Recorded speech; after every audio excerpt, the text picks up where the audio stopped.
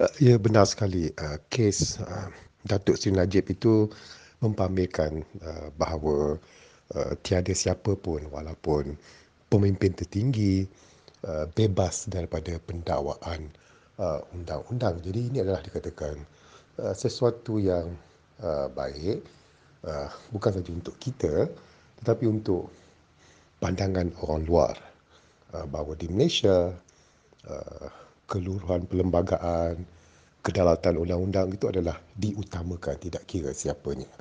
Jadi ianya memberi mesej yang baik uh, kalau nak dikaitkan dengan pelabur-pelabur asing itu mereka akan merasa yakin bahawa di Malaysia uh, undang-undang itu diutamakan.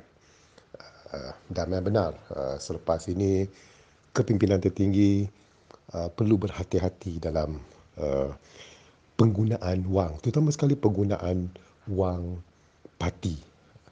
Uh, kerana sekarang kita tiada uh, akta dana politik, maksudnya wang yang berada dalam parti yang didermakan oleh sesiapa saja sekarang ini boleh dipergunakan untuk apa-apa tujuan tanpa kekangan dan tanpa diketahui oleh orang luar.